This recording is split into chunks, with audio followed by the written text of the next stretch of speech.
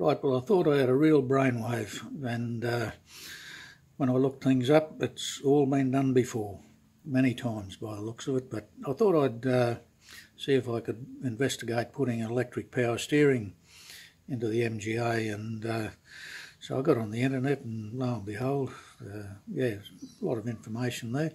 Most of it seems to be um, done with a, uh, Toyota Yaris steering box and uh, so I went out and sourced one of those at the local wrecker this morning uh, paid $50 for it and uh, got that home and looking at the setup it doesn't look like it's going to be uh, a real difficult sort of a project to, to get it up and running. Right, well here's the item in question. Um, you've got your electric uh, motor there, some sort of a uh, gearbox sort of an arrangement there, I guess. The shaft that goes down to the steering uh, rack arrangement and the uh, steering wheel end here. Uh, by retaining this uh, mechanism here, you'll get a little bit of up and down move, uh, adjustment on the column plus in and out uh, over about uh, six inches or so. So I'm going to leave that in place. Uh, don't need all this uh, uh, ignition business here, although there is a steering lock mechanism in there. It'd be nice to be able to retain that, but I don't see how that can happen at the moment, and it is uh, quite a bulky sort of a thing, uh, probably get in the way. Uh, but apparently, what you do is off this front bracket here, make another little bracket that bolts up on the two bottom bolts uh, of the master cylinder that comes through the firewall, and using the existing one there I think uh, I'll be able to graft a uh, plate onto the bottom of the existing uh, steering column mount uh, that uh, bolts up under the cowl. So that part of it doesn't look all that, that difficult. You've got your power uh, wires there for the motor, quite a heavy uh, electrical cord there. And I think this little one here is uh, something to do with the variable speed sensor, which uh, when operating uh, the uh, degree of assistance eases off uh, as you get a little bit of speed up. Um, I believe there's a sensor that you can get that uh, you mount on the uh, tail shaft just for the uh, the diff uh, that senses the uh, speed of the tail shaft. And uh, but I'll have to look into that bit of it. I'm not really 100% sure how that all works at this point in time. But I did find on Barney's site MGA Guru some information on how to install this, uh, albeit in a left-hand drive car, but right-hand drive shouldn't be that much different really.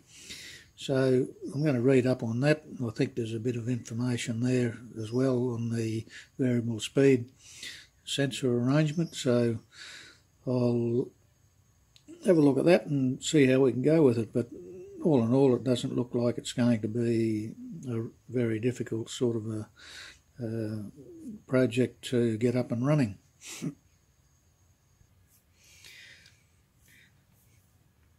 this is the side after the steering uh, gearbox.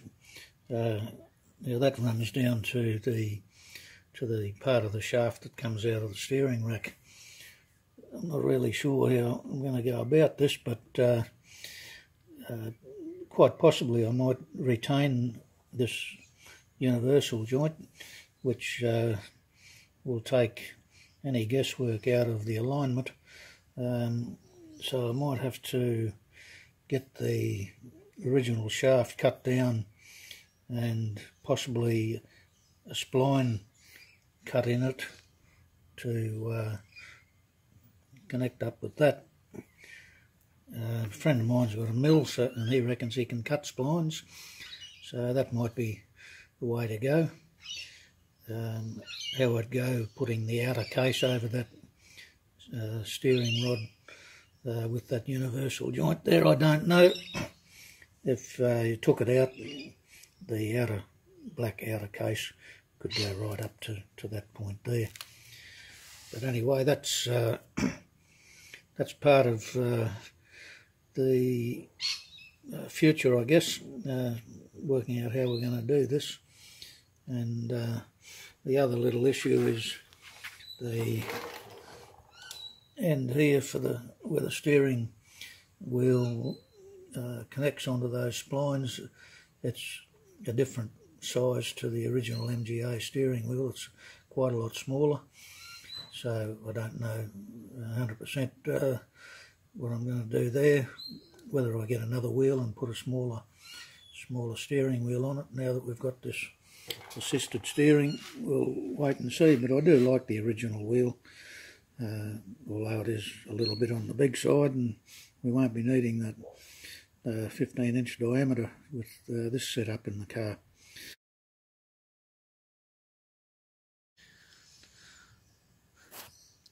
Right, so in the modification now of the mountings for the new power steering, I'm going to modify the existing bracket and to do that I've mounted up in the car and I've worked out that uh, because that's on an angle up here, uh, a straight cut or a level cut will be on that angle there.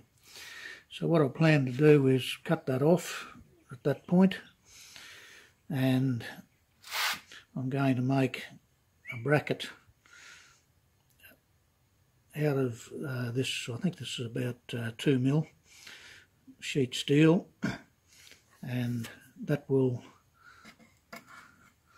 bolt on to there.